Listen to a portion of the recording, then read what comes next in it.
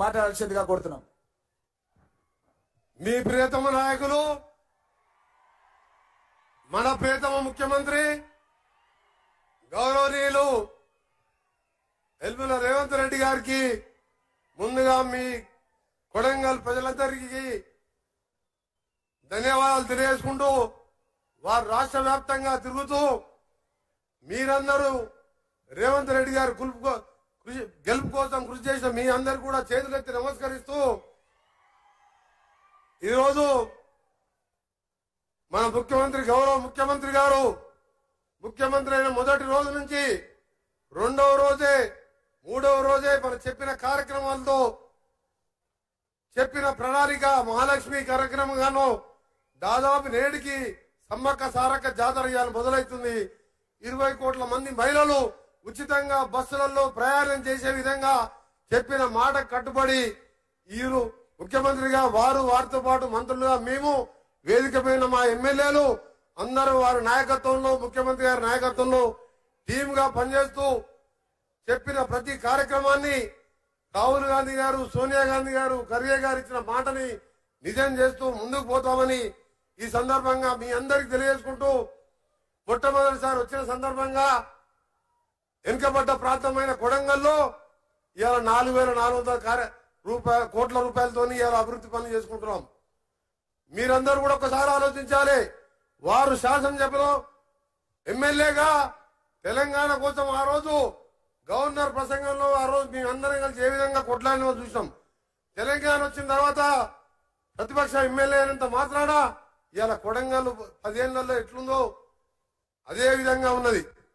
ఇవాళ తెలంగాణలో కాంగ్రెస్ పార్టీ ప్రజాప్రభుత్వం రావడం ఇవాళ మీ రూపురేఖలు మార్చే విధంగా కొడంగల్ మద్దల్ నారాయణపేట సంబంధించిన లిఫ్ట్ ఇరిగేషనే కాదు రోడ్స్ సంబంధించిన మా శాఖ నుంచి కూడా నాలుగు వందల కోట్ల పైన చూడని ఇలా డబుల్ రోడ్ వేసే కార్యక్రమం కానీ ఇంకా మిగిలిపోయిన వైద్య కళాశాల కానీ ఇవన్నీ చేసుకుంటున్నాం. మన దురదృష్టం ఏంటంటే పది సంవత్సరాలు తెలంగాణ ఇచ్చిన కాంగ్రెస్ పార్టీ ఇవాళ గజ్వేల్ సిరిసిల్ల సిద్దిపేటకే అభివృద్ధిగా నోచుకుంది తప్ప ముఖ్యంగా మహబూబ్నగర్ లాంటి వెనుకబడ్డ జిల్లా నల్గొండ జిల్లా ఫ్లోరైడ్ ముట్టుకుంటే భయం నీళ్ళు తాగాలంటే భయం అలాంటి జిల్లాను పక్కన పెట్టిండు. కానీ మన ముఖ్యమంత్రి గారు వచ్చిన మొదటి రోజుకెళ్ళి మూసి మూసి అనుకుంటా ఎక్కడ మాట్లాడాలన్నా దాన్ని ప్రక్షాళన చేయాలి. హైదరాబాద్ సికింద్రాబాద్తో పాటు నల్గొండ జిల్లాలో లక్షలాది మంది రకరకాల రోగాలతో ఇలా ఇబ్బందులు పడుతున్నారు చనిపోతున్నారు అని చెప్పి ఇలా మూసి ప్రక్షాళనకు నడుము కట్టి ఇలా కార్యాచరణ తీసుకొని ముందుకు పోతున్నాం అందుకనే కేసీఆర్ గారిని అడుగుతాను ఇలా ఆరు లక్షల కోట్లు అప్పు చేసి కమిషన్లు వచ్చే కాళేశ్వరం కట్టి మూడు నెలల మూడేళ్ళకే ఇలా మేడిగడ్డ బ్యారేజ్ కట్టి లక్షల కోట్లు సంపాదించడం తప్ప ఎప్పుడైనా మూసి మీద ఆలోచించడవా ఒక్కసారి కేసీఆర్ హరీష్ కేటీఆర్ ఆలోచించుకోవాలి. సిగ్గు లేకుండా రేపటికెళ్ళి మొదలు పెడతారంట. పోరుపాట అంట కృష్ణా వాటర్ గురించి పోరుపాట మొదలు పెడతారంట. ఇవాళ కృష్ణా నది నీళ్ళు ఎవరు రాసిచ్చింది మీరు? జగన్మోహన్ రెడ్డితో కుంభక్కయ్య రాసిచ్చింది ఎవరు? ఇవన్నీ కూడా టీవీలో చూసును ఇవాళ రేవంత్ రెడ్డి గారు మన గౌరవ ముఖ్యమంత్రి గారిని ఎదుర్కోలేక బొక్కలు అని చెప్పి నాటకాలు ఆడి అసెంబ్లీ ఇంట్లో కూర్చున్నాడు తప్ప అసెంబ్లీకి వచ్చే ధైర్యం చేయలే. అసెంబ్లీకి వచ్చి మన ముఖ్యమంత్రి గారితో ఎదురుగా మాట్లాడగలుగుతాడా? అంత తెలివి ఉంది ఆయనకు? ఆయనకు తెలివి లేదు. ఆయన చెప్పుకుంటే ఆయనే. నేనే చీఫ్ ఇంజనీర్ని నేనే ముఖ్యమంత్రిని. ప్రపంచంలో అద్భుతం సృష్టిస్తా అంటే అది మూడేళ్ళకే కుప్పకూలిపోయింది అద్భుతం పోయింది అది పోయింది పదవి పొంగనే బొక్కలేని కుర్చీలో పడ్డాడు. ఆయన వచ్చి రేవంత్ రెడ్డి గారితో కొట్లాడాలని మొఖం లేక హరీష్ రావు ముందు పెడతాడు. హరీష్ రావు దగ్గర ఏమున్నది? ఆయన చెప్తాడు ఇంట్లో ఉంటాడా? ఈయన పైసలు వర్కులు ఇస్తే ఆయన దగ్గర కమిషన్ తీసుకొచ్చి ఈయనకు అప్పచెప్పాలి ఆయన మరి ఆయనతో మాట్లాడాలి. అందుకనే సోదరులారా మన కేటీఆర్ గారు కూడా గతంలో ఒక మాట అన్నాడు. రేవంత్ రెడ్డి గారు మా కేసీఆర్ కాలి గోటికి సరిపోరంటే తెల్లారి నేను మాట అన్నా. కేసీఆర్ గారు కాంగ్రెస్ టీడీపీ పుణ్యవాణి మంత్రి డిప్యూటీ స్పీకర్ అయితే నువ్వు బటాబటి ఎనభై ఓట్లతో ఎమ్మెల్యేగా అయినావు. మా జడ్చర్లకి వెళ్ళి మన మిడ్జిల్కి వెళ్ళి ఇండిపెండెంట్ జడ్పీటీసీగా ఇండిపెండెంట్ ఎమ్మెల్సీగా ఎమ్మెల్యేగా ఈ రోజు సొంతంగా ముఖ్యమంత్రి అయినరు.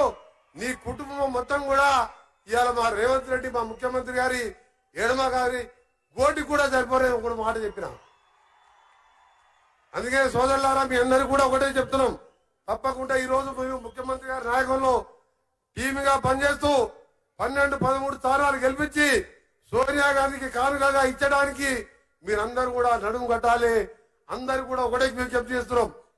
వాళ్ళలాగా తొందరలాగా లేదు ఇలా ప్రతి విషయంలో ఆలోచించి నిర్ణయం తీసుకుంటున్నాం మనం. మన ముఖ్యమంత్రి గారు ఏ విషయంలో నాకు ఒకటే చెప్పిండు.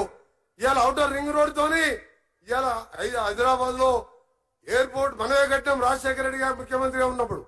అవుటర్ రింగ్ రోడ్ మనమే ఇస్తాం. పివి నరసింహ ఎక్స్ప్రెస్ వే వేసినాం అందుకనే ఇవాళ పెద్ద పెద్ద కంపెనీలు వచ్చి లక్షల మంది ఉద్యోగాలు వచ్చిన ఐటీ ఉద్యోగులు అన్నారు నువ్వు ఎట్లనే చేసి ట్రిపుల్ ఆర్ రోడ్ గురించి మొత్తం పూర్తి చేస్తే అదొక హైదరాబాద్ గేమ్ చేంజర్ అయితే ఇవాళ సూపర్ గేమ్ చేంజర్గా డెబ్బై శాతం తెలంగాణ ఆ రోడ్డుతో మన తెలంగాణ ముఖ చిత్రం మారిపోద్దని చెప్పిండు అందుకని నిన్న గడ్కరీ గారిని కలిసినాం. అన్ని ఒప్పించుకున్నాం. ముఖ్యమంత్రి గారి నాయకత్వంలో త్వరలోనే టెండర్లు పిలిపించి రీజనల్ రింగ్ రోడ్ కూడా పూర్తి చేస్తామని వచ్చే మూడు నాలుగు సంవత్సరాలు దాన్ని కూడా పూర్తి చేసి తెలంగాణ అభివృద్ధిలో ఉంటాం ఈసారి అరవై నాలుగు సీట్లే కాదు. వచ్చేసారి నూట ఇరవై నాలుగు సీట్లు రావాలి సీట్లు పెరిగితే. నిన్న మన కిషన్ రెడ్డి గారు అంటున్న ఒక మాట అయ్యా పేపర్లో చూసిన. ఈ కాంగ్రెస్ పార్టీ ప్రభుత్వం ఎక్కువ ఉండదని కిషన్ రెడ్డి ఐదేళ్ళు కేంద్ర మంత్రిగా వంద రూపాయలు తెచ్చుకున్నవారు సికింద్రాబాద్ పార్లమెంట్కు నువ్వు చేతగారి మినిస్టరు. మూసీ గురించి ఆలోచించినవా? కేంద్ర ప్రభుత్వం నీ చేతుల్లో ఉన్నది. నీ మోడీ గారు నమామి గంగా అని నలభై వేల కోట్లు పెట్టి గంగా నది శుద్ధి చేస్తే నీ మూసిని క్లీన్ చేసుకునే బుద్ధి లేదు. ఆఖరికి ఎందుకు అడిగినంటే మా గోద భువనగిరి కిల్లా మీద రోపే కట్టడానికి కేసీఆర్ గారు యాభై కోట్లు టెండర్ ఇచ్చి ఆయన మోసం చేసిండు. నువ్వు ఒక రెండు వందల కోట్లు ఇవ్వాయా టూరిజం మినిస్టర్ అని చెప్పి మూడు సార్లు తిరిగి గంట సేపు బదిలాడితే నాలుగేళ్ళు అయింది తప్ప రెండు వందల కోట్లు ఇవ్వలే ఆయన మాట్లాడుతున్నాడు కాంగ్రెస్ పార్టీ కాంగ్రెస్ పార్టీ ఎక్కువ రోజులు ఉండదని. వాళ్ళు భ్రమలు అంటున్నారు టిఆర్ఎస్ పై బీఆర్ఎస్ పై ఆ పార్టీ కథమైంది. బీజేపీ అనేది ఉండనే ఉండదు. ఉండేది ఒకే ఒక పార్టీ కాంగ్రెస్ పార్టీ. అది ఆ పది సంవత్సరాలు ఇది ఇరవై సంవత్సరాలు. కాంగ్రెస్ పార్టీ తెలంగాణ ఇచ్చిన పార్టీ అధికారంలో ఉంటాం. మీ అందరికి ఒకటే కోరుతున్నాం. వాళ్ళ తొందర లేకుండా ప్రతి ఒక్క పేదవారికి చదువు ఉండాలని ఇవాళ బడ్జెట్లో ఇవాళ మీరు చూసిన ఎక్కడ లేని విధంగా పది శాతం ఇవాళ బడ్జెట్లో విద్యాశాఖ కేటాయించి పేదవారికి చదువు అందించాలని ఇవాళ టీచర్ రిక్రూట్మెంట్ గాని ఇలాంటి కార్యక్రమాలు తీసుకొని పోతున్నాం. అందుకనే నాకంటే ఎక్కువ మీరందరూ ఎదురు చూస్తున్న మీ ప్రియతమ నాయకుడు మన ప్రియతమ నాయకుడు రేవంత్ రెడ్డి గారు మాట్లాడతారు. మేము ఒక్కటే చెప్తున్నాం మీ పార్లమెంట్ మీ పార్లమెంట్ పరిధిలో మన కొడంగల్లో మీ ఒక్క ముఖ్యమంత్రి మొదటి రాకతోనే ఐదు వేల కోట్లు తెచ్చుకున్నాం. అరవై డెబ్బై వేల లీడ్ వస్తే మళ్ళీ ఒక ఐదు వేల కోట్లు వస్తాయి. అందుకని అరవై డెబ్బై వేల మెజార్టీ తీసుకొచ్చి మీ పార్లమెంట్ మీ ముఖ్యమంత్రికి మన ముఖ్యమంత్రికి మేమందరం అండగా ఉంటాం. కొడంగల్తో పాటు తెలంగాణ ప్రజలందరూ కూడా అండగా ఉంటూ ముందు పోదాం తెలియజేసుకుంటూ మరొకసారి గౌరవ ముఖ్యమంత్రి గారి బడి మొదటిసారి కొడంగల్ పేరింటున్నాం రోజు ఇరవై ఏళ్ళకెళ్ళి. ఎందుకంటే రేవంత్ రెడ్డి గారి పేరు ఎప్పుడు ఇట్టాం కాబట్టి. అని అలా మాకు మా రోడ్ల శాఖకి వెళ్ళి నిధులు ఇవ్వడం వారు నన్ను ఆహ్వానించడం నా అదృష్టంగా భావిస్తూ అందరికీ నమస్కారం. థ్యాంక్ యూ వెరీ మచ్ భారీ నీటి పరితల శాఖ మధ్యలు సివిల్ సప్లై శాఖ మధ్యలు గతంలో పిసిసి అధ్యక్షులుగా అదే విధంగా మన దేశం గురించి ఎయిర్ ఫోర్స్లో యుద్ధ విమానాలు నడిపే పైలట్గా పనిచేసి ప్రజా